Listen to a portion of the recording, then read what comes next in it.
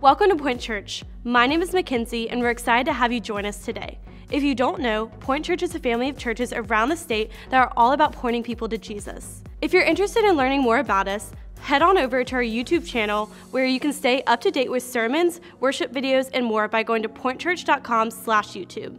As we prepare to sing and worship, Take a second to calm your heart. Consider how Jesus came and died for your brokenness, your shortcomings, your sin, and was raised so we could experience new life in a relationship with Him. He paid the penalty for us so that we could walk in freedom. May that fill you with joy and hope as we worship today.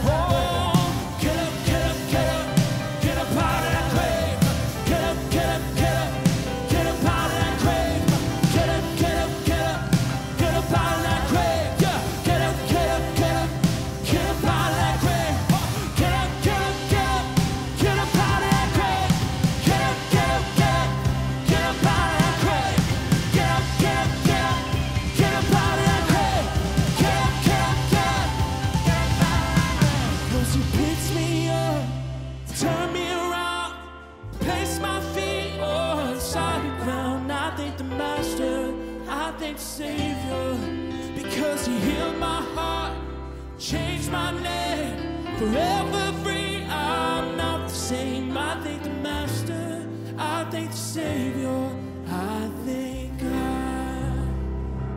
Hallelujah. Thank you, Jesus. So it is our grand opening, and we are so glad that you are here with us. Uh, this is our third try in a few weeks, but I, I have to take you back a little bit further than that, though.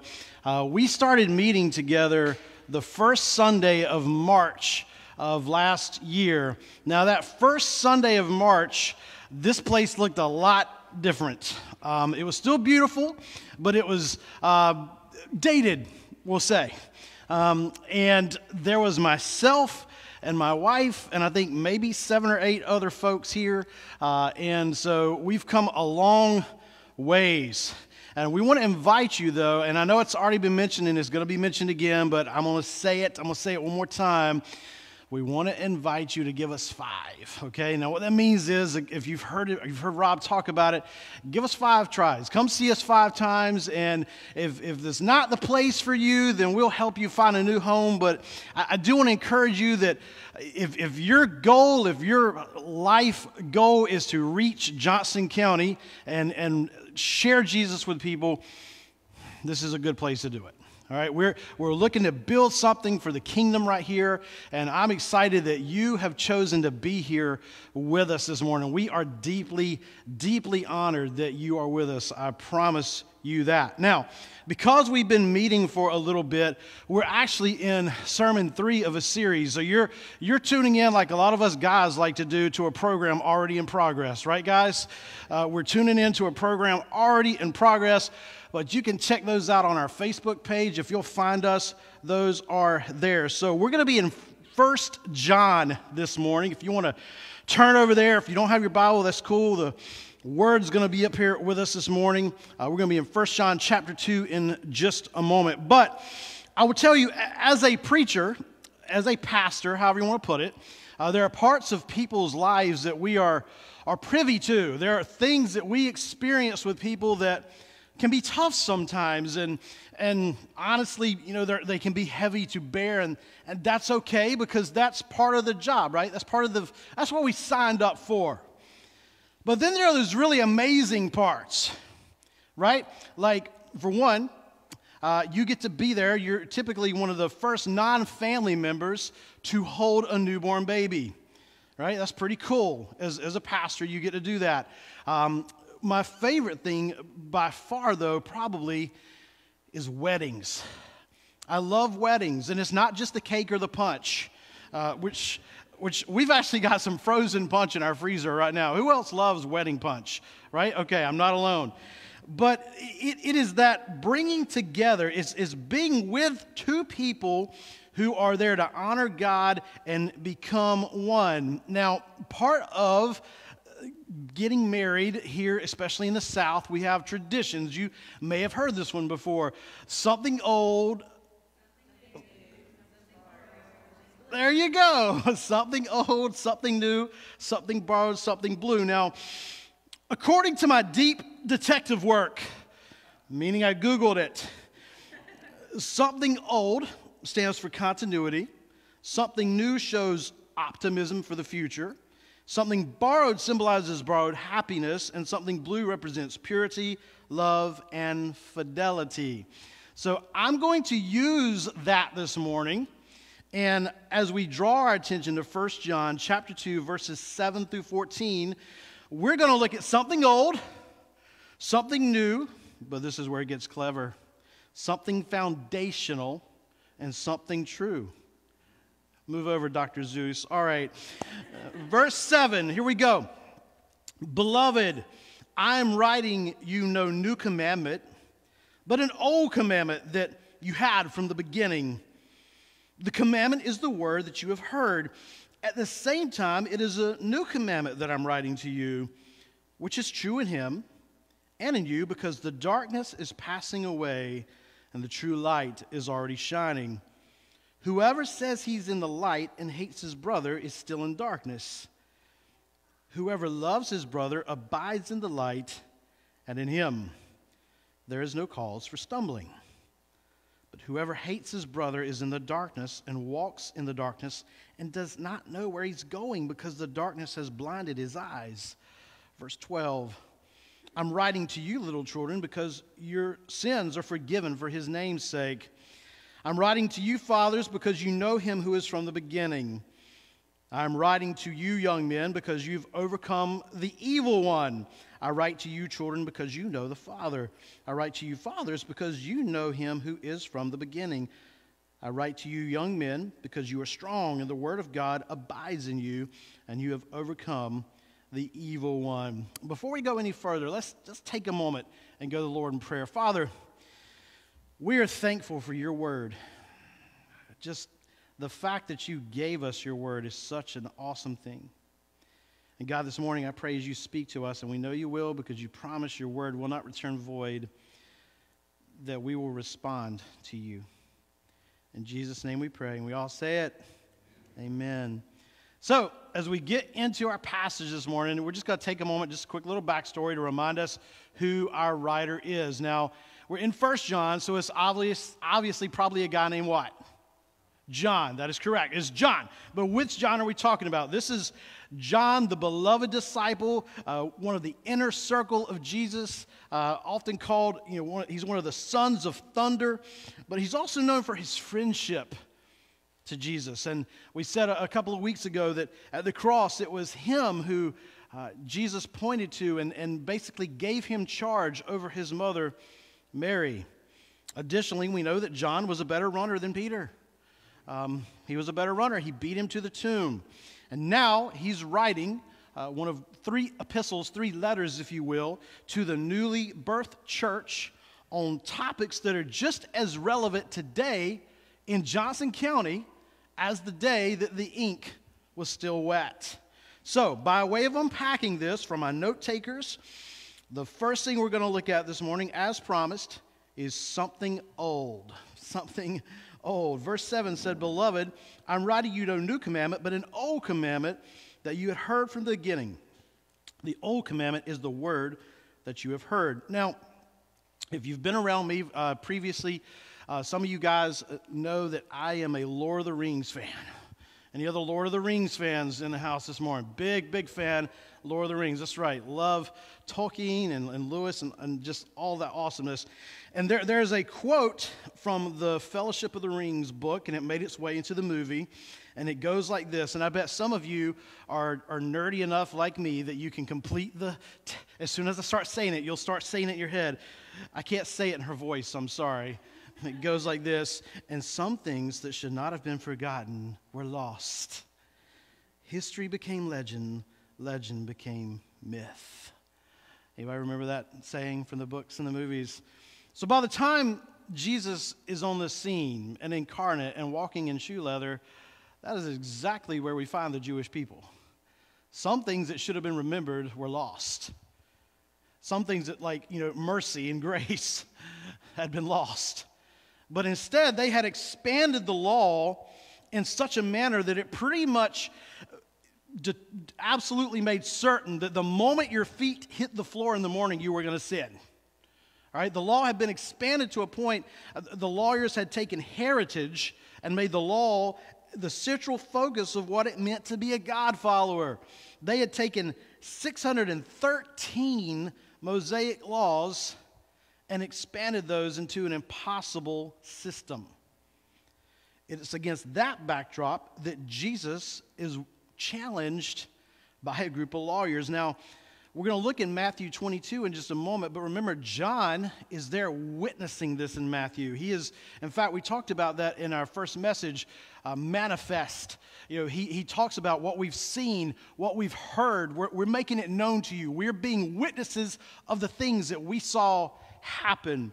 So, if you will, if you want to flip over to Matthew 22, you can, or you can look up here in just a moment.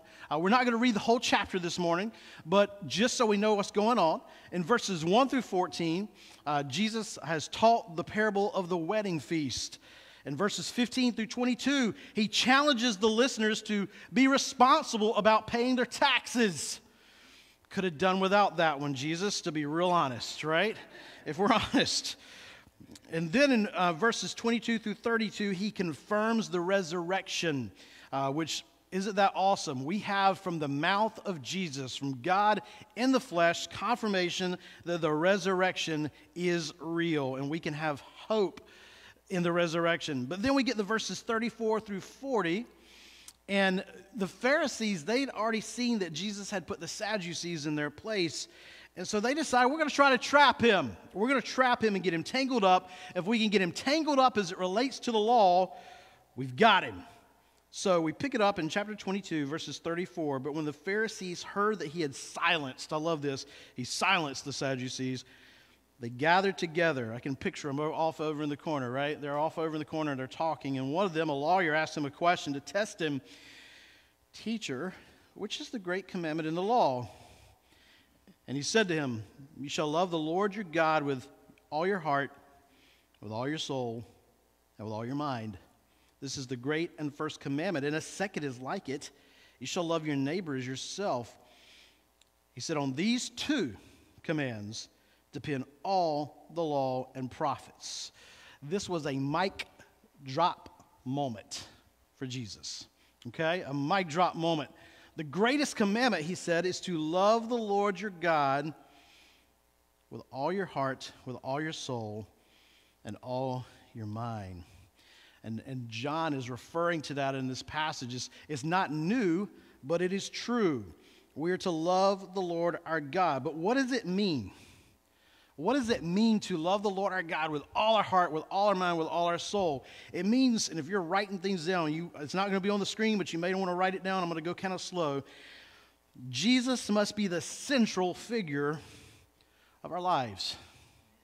Jesus must be the central figure of our lives. He said to them, in, as we look at the commandments, remember, thou shalt have no other gods before me. When I think about Jesus being the central figure of our lives, I think about a wheel, right? Have you ever had a, a wheel before that gets off the axle? Anybody that ever happened to you before? You might have been behind somebody in Johnston County, riding down the road like that, right? It's a bumpy ride. It doesn't work real well when the wheel is not rotating around the axle like it's supposed to. It's a bumpy ride. Guess what?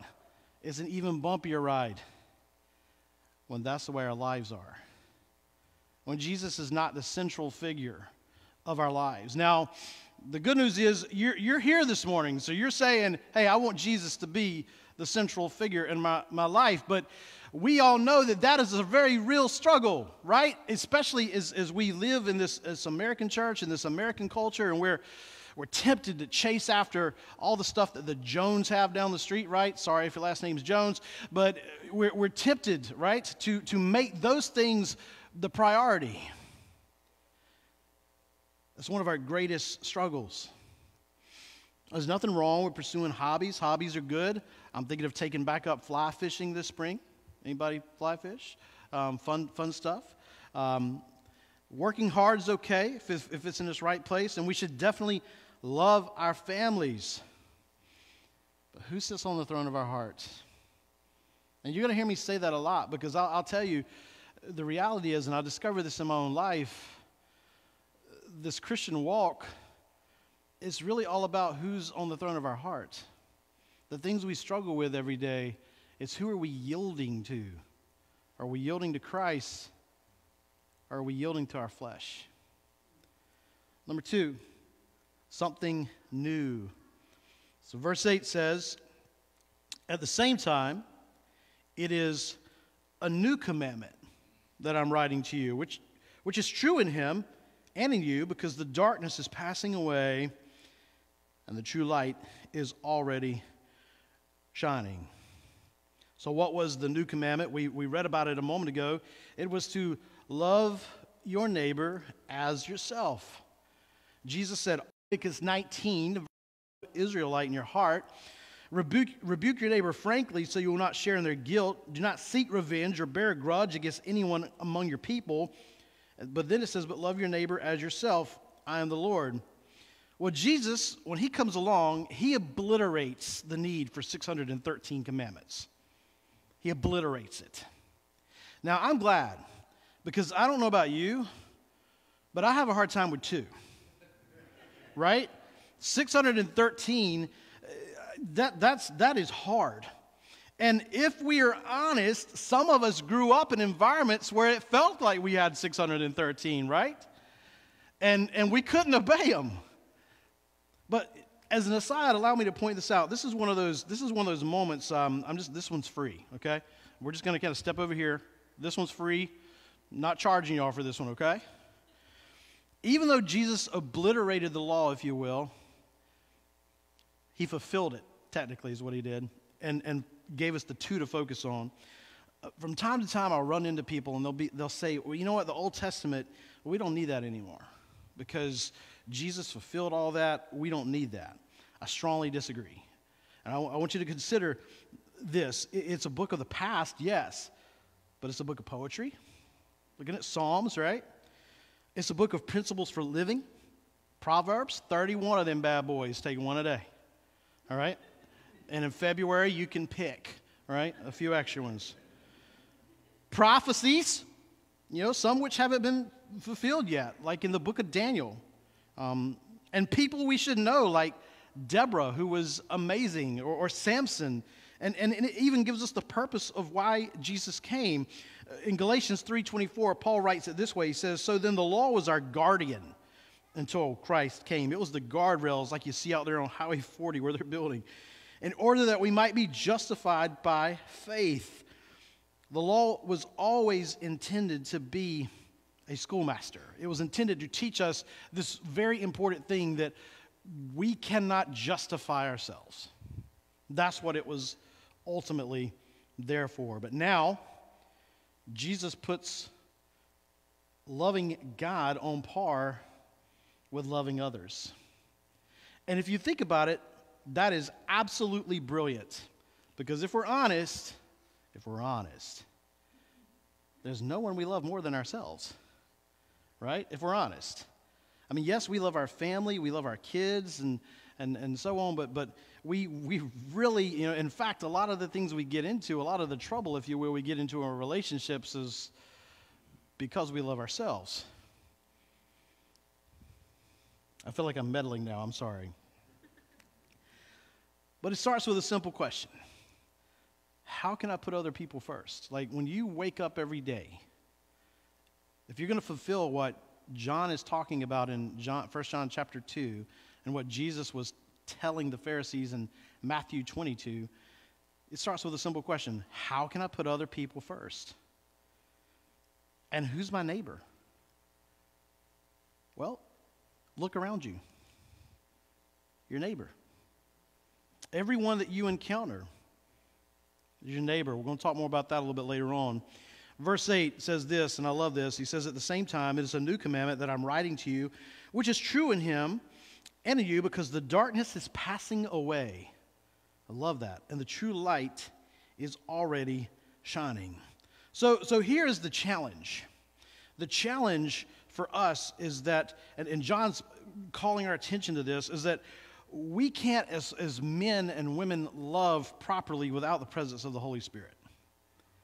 I- I'll tell you, I'll, I'll just be very honest with you, and if it scares you away, I'm sorry. But without the Holy Spirit in my life every day, I know who I would be. I was expelled from public school. Okay? Not suspended, expelled. I wasn't a believer yet, but I know. And so I, I, every day, man, like Romans 12 1, like every single day, I'm praying Romans 12 1, giving myself as a living sacrifice because I know me. And you're probably sitting there going, I know me, right? I love this. He says, the darkness is passing away. You know, here's the thing. We, we have ado- adopted as our saying here, and if you've looked at it on, uh, at us all on Facebook, you've seen it. And Rob, will you stand up for us? All right, turn around and show everybody your beautiful shirt. Jo- you can flex if you want. Um, thank you. Um, JoCo needs Jesus has become our, our thing. That's our mantra, right? Is JoCo needs Jesus. And, and, it does. We know the statistics of how many people are not in a house of God this morning. But here's the thing the way they're going to meet Jesus is through you. And, and it's going to be through the love that you and I show them on the day to day. And, and honestly, the community around us, as hard as they build new things, it's a sinking ship. Darkness is passing away. Satan is already a defeated foe. We're going to talk in a couple of weeks about this world system, but, but people are, are like, literally, it's like they're on the Titanic and they're grabbing anything they can. You and I have the answer. Number three, something foundational.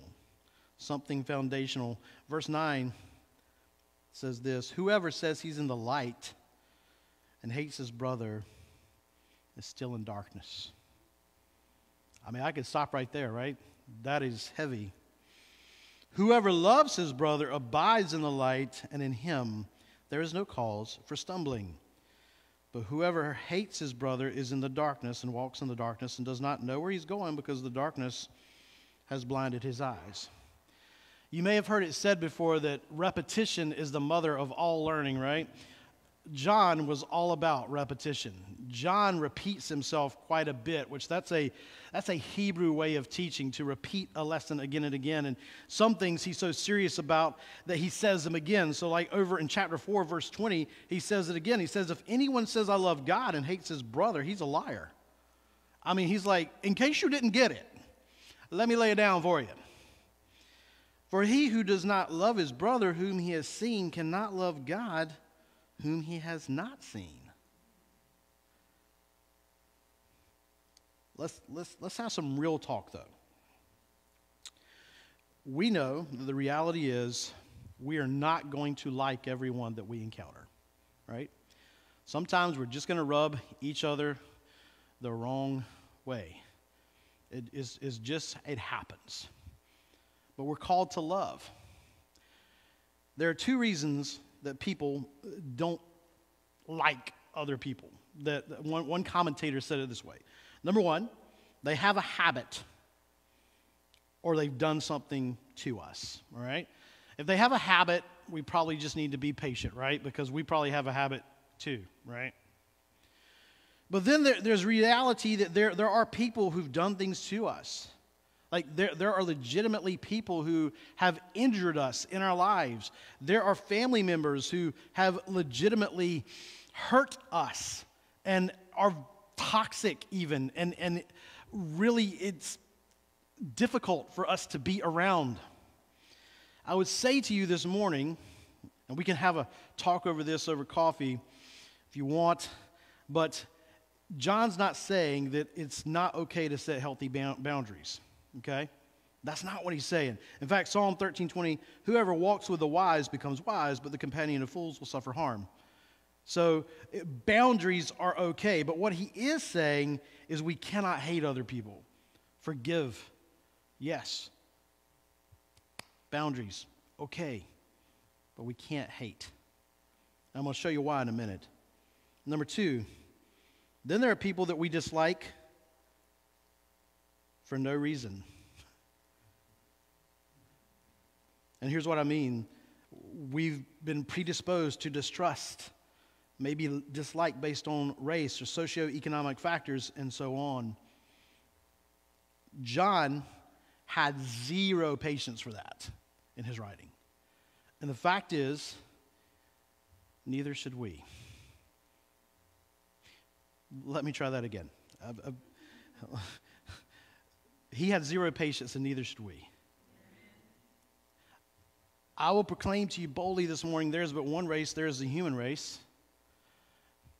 And there is but one blood and one baptism in Christ, period. We have a responsibility to be Jesus to people. Now, gang, what, what, I'm, what I'm, I want us to understand is that doesn't mean that we don't tell the truth to people who are living in sin. That's not what I'm saying. I'm not saying we, we rubber stamp people's sins and say that's okay. That's you know that's just your thing. That's not what I'm saying. But what I'm saying is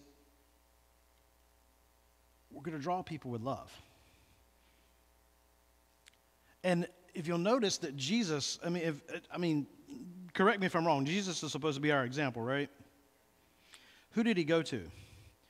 The people no one else would go to. He went out of his way to have a conversation with a woman who was like somebody that your mama would have told you, don't you talk to her, right? And that ethnically was someone he shouldn't, as a rabbi, been talking to. He went out of his way to speak with her. So we have to be mindful of that. And I would challenge us, we're going to challenge us in a moment to think more about that. But again, it doesn't mean we're going to comfort people in their sin, but it means that we need to have compassion. Because if not for God, it could be us. We also need to be aware that not loving our neighbor or harboring hatred ultimately has, number three, an impact on us. Verse 10 says, There's no cause for stumbling, but whoever hates his brother is in darkness and walks in the darkness and does not know where he's going because the darkness has blinded his eyes. Here's the deal you can be right in every other area of your life, right? And that's what we do, right? We have a list of, well, I'm not doing this, I'm not doing that, I'm not doing this, I'm not doing that, so I'm good. But if we're harboring hatred for a, a, brother or sister or even a people group that we've never met or someone we don't know, that root of bitterness will become poison and destroy the whole body. The classical biblical example is Saul. Saul was jealous of David, tried to impale him. My man was just sitting over there playing his Martin guitar, right? He was just playing some Willie Nelson, just doing his thing. And, and, and Saul tried to impale him. He was so jealous, he had lost sight of the fact that he was the problem. He become so uh, hateful toward him that he was filled with bitterness. Like, here's the reality there's always going to be somebody that gets on your nerves. All right? Amen? I mean, if you drive around Raleigh, there's going to be somebody that gets on your nerves. I mean, I'm just going to be honest, right? I got behind somebody yesterday. I was like, God, help me. you know, please. There's always going to be somebody who's more blessed than you, at least it looks like. There's going to be somebody who, you know, at work who uh, advances faster than you, or, or as, you know, sometimes as preachers, you know, a better communicator, right? There's always going to be that person, no matter. We're called to love our neighbor as ourselves. You cannot, we cannot hate our brother or another and walk in light if we have something against them. It ultimately impacts us, it poisons every relationship. Number four, something true. Verse 12 says, I'm writing to you, little children, because your sins are forgiven for his name's sake. I'm writing to you, fathers, because you know him who is from the beginning. I'm writing to you, young men, because you've overcome the evil one. I write to you, children, because you know the Father. I write to you, fathers, because you know him who is from the beginning. And I write to you, young men, because you are strong, and the word of God abides in you, and you have overcome the evil one. As we begin to wrap this up, John speaks to a few different groups. First, number one, he speaks to children. He names children for a few reasons.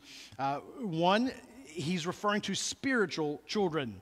You know, these, these people that he were, was writing to, they ultimately were John and the other disciples. He considered them their spiritual children. But I think another way he's using this is to receive it as children, right? Think about kids, right? Kids, kids are awesome, right? Kids are amazing.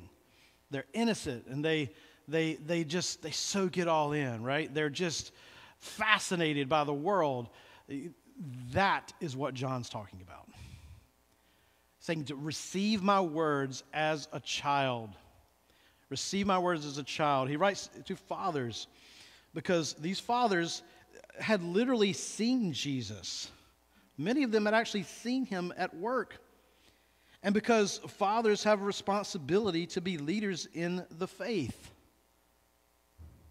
There should be a really big amen there. Let me try that again. Um, fathers have responsibility to be leaders in the faith. And I'll tell you guys, let me just talk to the fellas for just a moment, okay? Here's the thing. We talked about it a while ago, trying to keep up with the Jones and all that. The enemy is brilliant, and we're going to talk about that, Love Not the World, coming up like in a few weeks. The enemy is brilliant. It's like he's in a boxing ring with us, right? And he's feinting. He's like feinting. He's like getting us distracted so he can like hit us with a right hook. And that's what he does. He gets us so focused. And look, I've been there, right? Even in ministry, I've been there. At a, I, there was a point in my life at which I was so focused on doing ministry that I was not doing the things I needed to do in my own household. And God had to fix that. So I want to challenge guys this morning heed John's words. Be the leader God has given us to be. Now, that looks like something quite different than what the world tries to tell us it does. And we'll talk about that probably next week. So you see, you got to come back. Because if you don't come back, you're not going to know. You're just you're going to have half the information. he says, young men, young men, because it's in the energy, it's in that energy of young men that the gospel is shared. Uh, young men are full of energy, right? Uh, if you get a group of young men together, it's not long before they've come up with a game of their own. They're wrestling. They're, they have, they're full of energy. If you could bottle that energy and sell it, wow, right? So that is the that's that's the spirit in which he's talking about, and and is because at that time, you know, young men were the ones who fought wars and and were the ground troops. So he addresses them that way allow me to address the elephant in the room. It's obvious here that John does not mention ladies, mothers, women. But remember, this is a cultural thing. He's, his intent is not to diminish women in any way. Uh, it's important to get that the Bible was written for us, but it was not written to us. Okay? Now, here's what I mean by that. When John wrote that, he's writing it to a specific group of people, specifically here, Jewish people, and so he's writing in Jewish custom. It's, it's not in any way to say that you know, women aren't part of this either. And we all know that we need women. Yes, we need, we need spiritual women, right? We do. We need spiritual women in our lives. The church needs spiritual women. And the Bible is full of women who are great examples of that. We did a series a while back on women in the Bible. My favorite is Deborah. I mentioned that a while ago. I just think Deborah's the bomb. How do we live this, though? In a few minutes, we're going to we're to walk out those doors, and if you turn in your Connect card, you're going to get a Joe Needs Jesus t shirt, or possibly on a list for one because we're probably going to run out. Just being honest. But if you turn in your Connect card, we got something for you. But how do we live it once we get outside those doors? Well, number one, love God. I mean, that sounds simple, right? It's like, that's about as Sunday school answer as you can give, right? Love God. But hang on. Here's what I mean really love God. We're in a few weeks, we have a holiday coming up. It's actually my birthday, February 14th, Valentine's Day. Fellas, if you haven't done all year long for your wife, you know what I'm saying? we need to be doing all year long. Amen? I'm coming, come on, right? he said amen. But our relationship with God is the same way. You know, we, we, we, we need to seek Him, seek to know His heart. Because here's the deal if you seek Him, the Bible tells us it's, it's actually very clear that if we pursue Him, He, he will reveal Himself. He, he promised it. He, he, he's not going to hide Himself. We need to make Him the center of our decisions. We, we need to seriously, like, I'm not talking about what socks you choose in the morning, right? But the big important stuff, like, He needs to be the center of our decisions. And we need to have no other gods before him. Look, the, the, the world system will offer you a false God.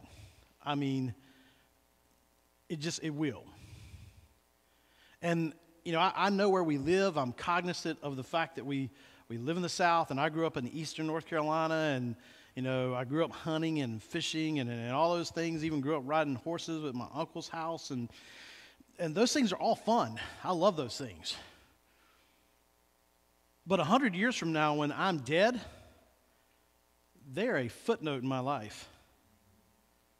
The relationship I had with God and then with my family, which, by the way, if you get the one straight, it tends to fix this one. That's going to be the most important thing. People aren't going to ask how many bucks I killed. They're not. Unfortunately, not many.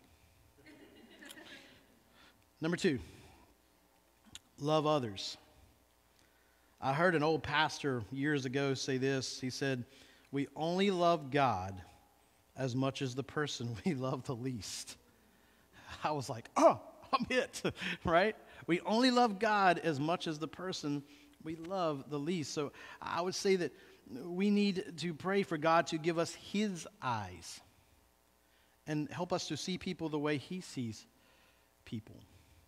And we need to live out Romans 12, 18, that says, if possible, so far as it depends on you, live peaceably with all. I'll take it a step further. If you have an issue with a brother or sister, you need to go to them, according to Matthew 18, 15. Because I promise you that becoming bitter towards another person, having hatred in your heart, you've heard it said, and, but it's like drinking poison and expecting the other person to die. I've watched it destroy people, I've watched it destroy ministries. My challenge to us this morning John gives us an old commandment and a new commandment, a truth to cling to these are the proof of life this morning. Every head bowed, every eye closed.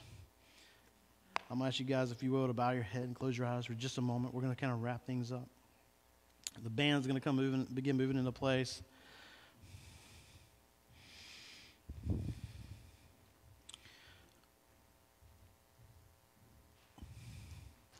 You know, it's a, it's a grand opening, right? It's our grand opening Sunday, and um, many of you, this is the first time we've ever met, and I don't know, maybe you, you just want to try a new church this morning. Maybe it's been a minute since you've been in with all the crazy COVID stuff and all that jazz. But this morning, if God's spoken to you, I want you to do, like I said a minute ago, what you wish you'd done 100 years from now. Don't, don't stay. The altar is open. Maybe you've been holding, harboring a grudge towards somebody that you need to let go of. Maybe it's a people group that, that you need God to help you to, to care for, to, to love. Or maybe you just want to pray with your family, or maybe you just want to pray for somebody. I want you to know that the altar is open this morning. I'm going to invite you to stand with, stand with us, if you will. I'm going to pray for us and then we're here if you need to do business. Father, thank you for your words. You're a good, good father. You, you challenge us. I appreciate, God, that you don't leave us as we are, that you push us to grow and expand. And I just thank you.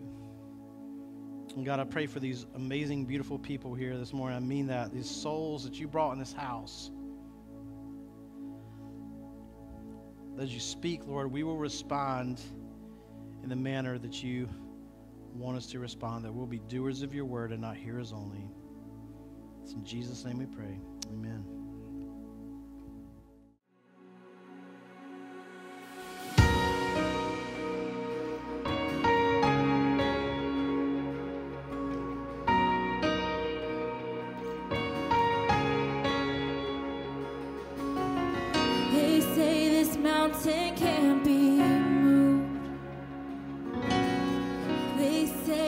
chains would never